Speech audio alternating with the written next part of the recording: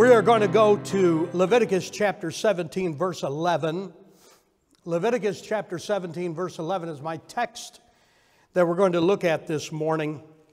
And I want to preach this on this subject the significance of the blood. The significance of the blood. Kind of fits in with Memorial Day when we think of memorial. Uh, we're remembering those that have given their lives up for our freedoms, but we also remember the one who gave up his life for our spiritual freedom. Amen?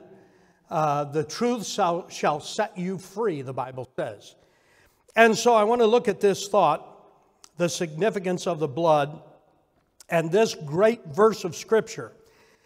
Leviticus chapter 17 and verse 11, the Bible says, For the life of the flesh is in the what? The blood. The life of the flesh is in the blood. And I have given it to you upon the altar to make an atonement for your souls. For it is the what? The blood that maketh an atonement for the soul. We're going to take this verse and look at the three points here in this verse of Scripture. But just to give you, uh, uh, bring, it, bring it up, this chapter, in this chapter, we see, uh, as God gives us here, uh, the importance of the blood. Now, the book of Leviticus was written to the Levites, the tribe of Levi.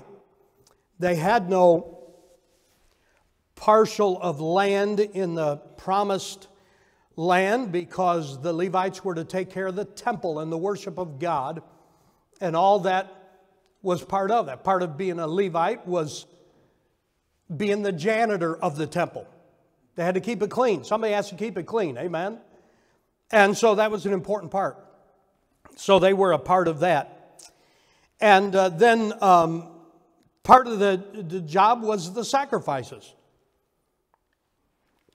The sacrifices took a lot of work, and there was a lot of significance to all of these things and keeping it all maintained. And so they had importance. And here in Leviticus chapter 17, God is teaching them and teaching us the importance of the blood atonement and this system and plan that God has set up.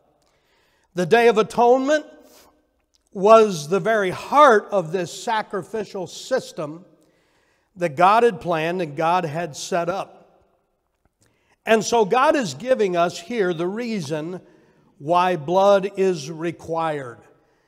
Many people have said about our faith and our belief and our process of redemption, salvation. Many have said, well, that religion's such a bloody religion. Yes, it is. Yes, absolutely it is. I don't make any apology for that. All right? No apology for it. This is what God set up, and God has His reasons. God doesn't do anything unreasonable, He has His reasons for everything. I think part of the reason is answered in that first phrase for the life of the flesh is in the blood. Think about it.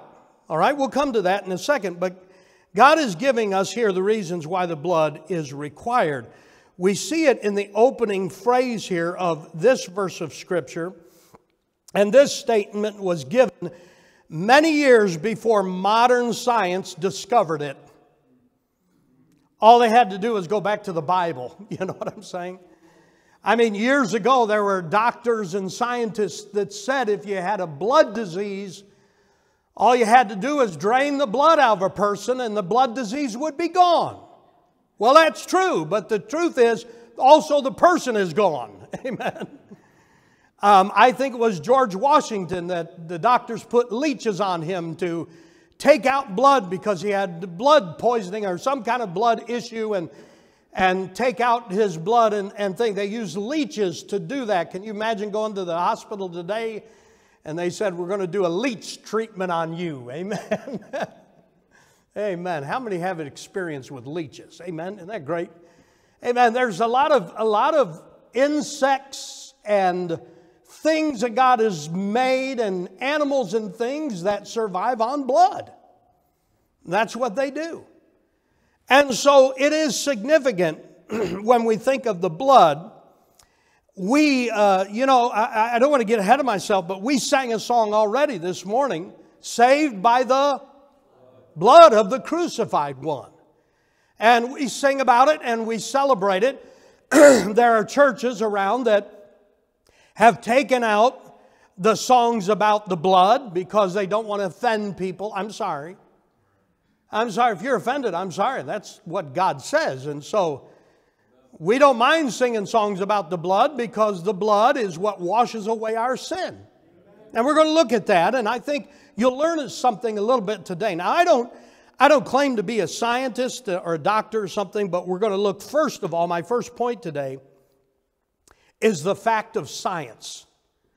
The significance of the blood, the fact of science. Again, Leviticus 17, verse 11 says, For the life of the flesh is in the blood. An adult of average size normally has about six quarts of blood. The colorless fluid of the blood or plasma carries the red and white blood cells, platelets, waste products, and various other cells and substances. Now, I got, I got some of this information off of Google's, and you know, if it's on the internet, it's got to be true, right? Okay, so listen, if you're a doctor or if you know a little bit more about this stuff, I'm sorry if I got it wrong, go tell Google, all right? Blood disorders, there are blood disorders, include, I'm going to try to pronounce this, polycythemia. I think it's called polycythemia. An abnormal increase in the number of circulating red blood cells. There are other dis, uh, disorders that are called anemia, leukemia, hemophilia, other things that have to do with the blood system. The blood is so important to us. The blood carries oxygen and nutrients to the body tissues and removes carbon dioxide and other wastes from our body. Uh, you know, it goes, of course, goes through the liver. The liver, I think, is what purifies, what cleanses. And, all of those things need to be in proper order. And they told me when I had last year my bypass surgery, they said one of the things is that we want to take care of this now because your liver is good and in good working order, and your kidneys, what are your kidneys? They are purifying also. They're in good and good order, and if you had a problem with that, it would complicate things. And so, right now, as far as those things are concerned, you're healthy and uh, the, it's a good time. You'll have good recovery and probably won't have any real complications, at least with those things. And so, um, uh, that is important. And, and they, you know, there's machines and there's things, and they put blood into you, and people get all kinds of things with their, with their blood and the blood system. It assists in healing and purifying wounds. I heard recently that uh, there are some doctors that are with some kind of, uh, uh, what is it, what, um, tissue is- issues or muscle or ligament issues that they will do something that draws the blood to that place because the blood, our, the, God has made us to where our blood and our bodies naturally heal themselves. And that, um, that's a miracle, you know? I mean, just when you cut your finger and the, it starts to bleed. Now, my brother taught me about blood system. When, he, when I'm not kidding you now, when I was like in fourth grade and he was probably in fifth grade. Are you smarter than a fifth grader? That's the smartest person on the planet right there. And I remember my brother, and I can't remember what we were doing. We were probably working on our bikes or doing something. We may have been out cutting wood or something. We, ha- we had to have something because I don't remember if I got cut or he got cut or somebody with us got cut. And my brother's over there saying, Make it bleed, make it bleed, push it, make it bleed. And I'm going, You're supposed to stop the blood. You're supposed to, no, no, no. The blood cleanses that wound, especially if you get cut with a piece of metal. You want it to bleed because it cleanses it, it keeps it clean, and then you get the blood stopped. And, And, and, and my brother, I, mean, I was learning from this wonderful scientist that knew. Make it bleed, make it bleed, you know. But there's truth in that. Amen? I mean, when I almost cut my arm off, when I cut it off, I didn't have to say make it bleed. Boy, there was blood going everywhere when I did that. Uh, sometimes it's a good thing, just don't bleed too much, right?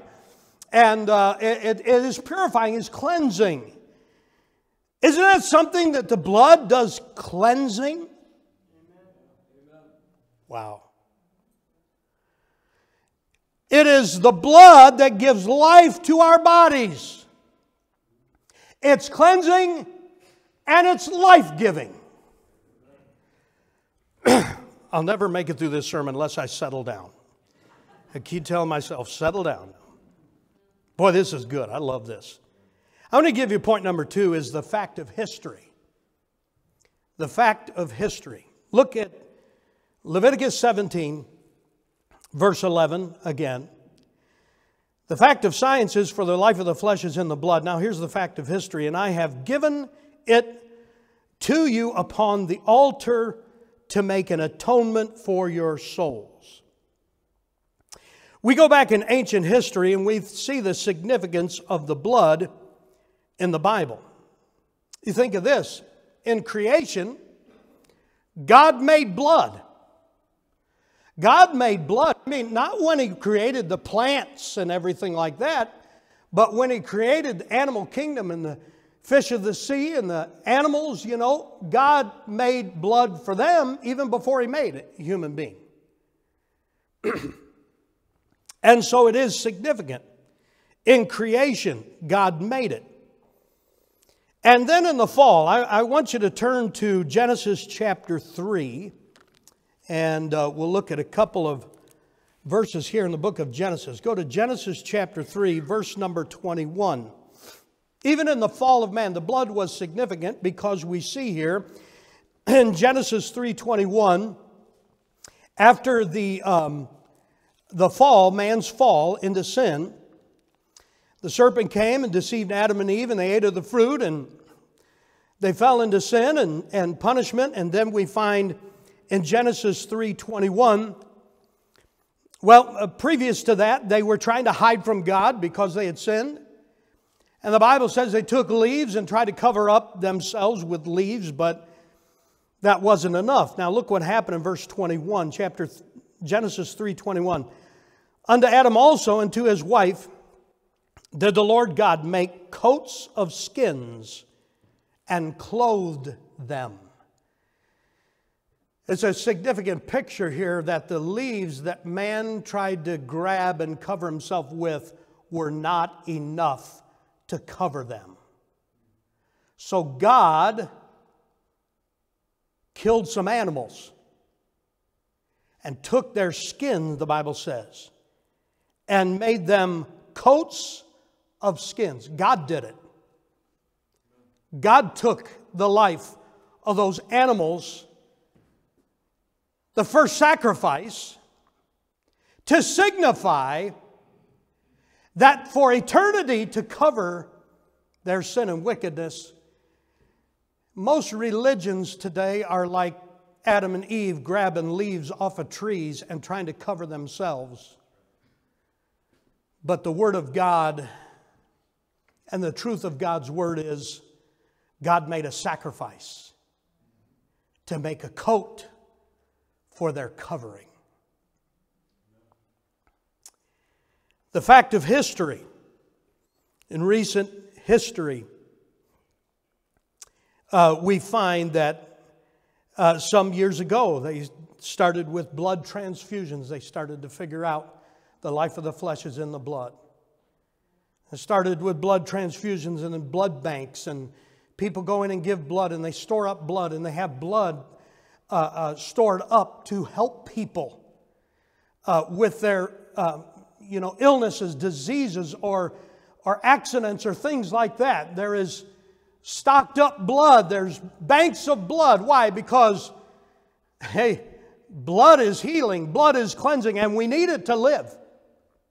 It is significant significant to us that we sing songs about it. And we don't even, we don't even blink an eye because, because of what the Bible says here. Because we look back at our history and through the scripture, we find it's all about the blood. The preaching of the Word of God is preaching about the blood. I mean, I, am preaching a whole message on it today. And it's mentioned in most every message and sermon. And why? Because it's the significance of the blood. We talk about this that the importance of our church and the message of our church is the book, the blood, and the blessed hope. The book is what talks about the blood and teaches us about the blood. And it's the blood that gives us the blessed hope that we have in Jesus Christ. Folks, without the book, we don't know about the blood. And without the blood, we are hopeless without Jesus Christ. It's significant. God brought it all the way through the Old Testament and in His law. By the way, there in the book of uh, Genesis, chapter 3, that we read in verse 21, that was before the law was given. The law of the sacrifices and all of that was all a part of that the fact of history, the significance of the blood. My third and last point, which will probably take most of the time of the message, is the fact of theology. The fact of theology. All of this points to this as well. It all goes together. It is significant. We talk about the law, it's part of the law. Go to Genesis chapter 9. Genesis chapter 9 and verse number 6. Now we know that the ceremonial law and those type of things were given in Exodus and Leviticus, but the law started way before that. It started just after Adam and Eve, but it also was, uh, was uh, repeated here in Genesis chapter 9 and verse number 6, where the Bible talks about Noah and his family rescued in the ark, and then they come out of the ark, and God gives them some instructions, some things. He says in verse number 6, Genesis 9 6, Whoso sheddeth man's blood, by man shall his blood be shed. For in the image of God made he man. This is part of the law. If you take a life, if you shed the blood, then your blood should be shed. Life for a life, that's part of the law. The Ten Commandments repeats this when Moses went up to Mount Sinai and received the Ten Commandments from God in Exodus chapter 20. It says, Thou shalt not kill. And that phrase, that wording of that is to, talking about the taking of innocent blood. God says, Don't do it. You have no right to do it of innocent blood. Now, of course, he gives governments uh, the authority to take the life of someone who's taken another life. That's their job. But it's not for individuals, it's not for us. Thou shalt not kill. Don't take innocent blood. And then we look through theology, we see, as I mentioned already, the sacrifices that he talks about and, and the rules that were given here. The death of the animal was a reminder of some things. When they took their sacrifice, when they took that lamb into the temple to be sacrificed for them, and that lamb, the, the priest would cut its throat and the blood would come out and the blood was shed, and that lamb was made as a sacrifice, it was also a picture of death and a reminder that this, we're all going to die. We're not going to live forever. We're all going to die. It's appointed unto man once to die, the Bible says. And so death had to be part of this. And so the shedding of blood to cause the death of that sacrifice, that animal, it was a picture of the fact that one of these days Jesus was going to come and shed his blood. It was a picture. It was a picture that we are passed, that we that are saved are passed from death unto life. I'm so glad. I think Brother Jim said this morning about the cross. The cross is a symbol of death, but it's also a symbol, the cross, of life. Hey, the shedding of the blood was a picture of death, but it's a picture of life. Why did this all take place? Why did this all happen? Why is it so significant? Because when Jesus went to that cross and shed his blood, three days later, he rose up from the grave. Amen. And so ultimately, it is a picture of life. This is why the blood is so significant. Now turn over with me to the book of Matthew, the book of Matthew, chapter 27. Matthew, chapter 27. I want to read some verses here that show the significance of the blood. We talk about the crucifixion of Jesus Christ. Matthew 27, verse 22 Pilate saith unto them, What shall I do then with Jesus which is called Christ? They all say unto him, Let him be crucified. And the governor said, Why? What evil hath he done? But they cried out the more, saying, Let him be crucified. Verse 24, Matthew 27 24. When Pilate saw that, excuse me, when Pilate saw that he could prevail nothing, but that rather a tumult was made, he took water and washed his hands before the multitude, saying, Look what he said. I am innocent of the what? The blood of this just person. He said, I, I don't want to be, I, I'm innocent of the blood of this just person. He called Jesus a just person. See ye to it. Now look what they said. Then answered all the people and said, His blood, what his blood, be upon us and our children. We'll take the guilt, we'll take the blame. It's our, I, we're, we're responsible for this. Yes, they were. And so were we. Our sin is responsible for crucifying the Savior. Verse 27 Then the soldiers of the governor took Jesus into the common hall and gathered unto him the whole band of soldiers, and they stripped him and put on him a scarlet robe. And when they platted a crown of thorns, they put it upon his head and a reed in his right hand, and they bowed the knee before him and mocked him, saying, Hail, King of the Jews! And they spit upon him and took the reed and smote him on the head. And after that they had mocked him, they took the robe from off him and put his own raiment on him and led him away to crucify him. They took the Lord of glory and they beat him. And they spat upon him and they took the hands that had touched blind eyes and made them see and caused the leper to be cleansed and caused the lame to stand up and walk again, and caused the deaf to be hearing, and healed them, those hands that had reached out in love and compassion and mercy, and they nailed them to a cross.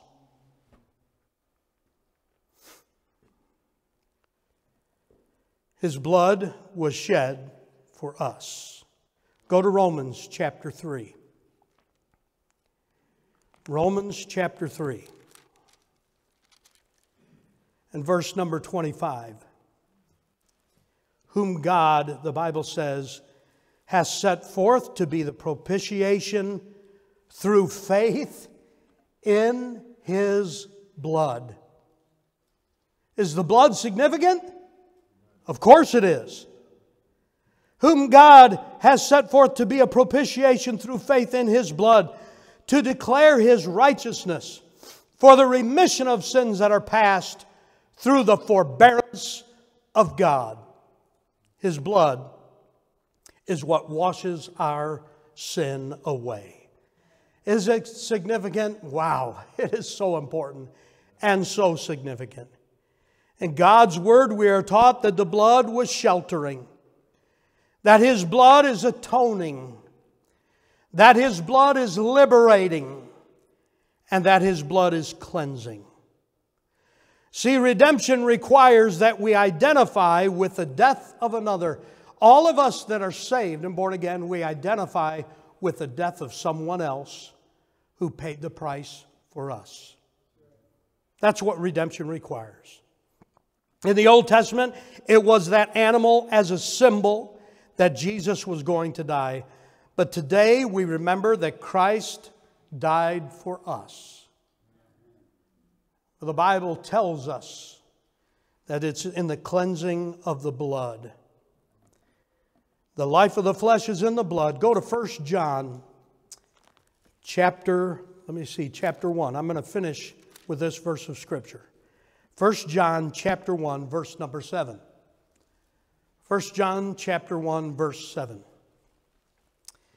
But if we walk in the light, that is, if, if we're saved, if we're born again, if we walk in the light as He is in the light, we have fellowship one with another. Now, notice what He says and the blood of Jesus Christ, His Son, cleanseth us from all sin. That's why we rejoice in the blood. It's not because uh, we're some kind of weird people or crazy people. No, this has been since time began. God started all of this. And so we're not going to apologize and we're not going to change our preaching and we're not going to change our singing. We're still going to sing songs that say there is a fountain filled with blood drawn from Emmanuel's veins and sinners plunge beneath that flood lose all their guilty stains. We're going to sing, Dear dying lamb, thy precious blood shall never lose its power till all the ransomed church of God be saved to sin no more. Sinner friend, today, if you're lost without Christ, hey, your rescue and your deliverance is in the blood of Christ.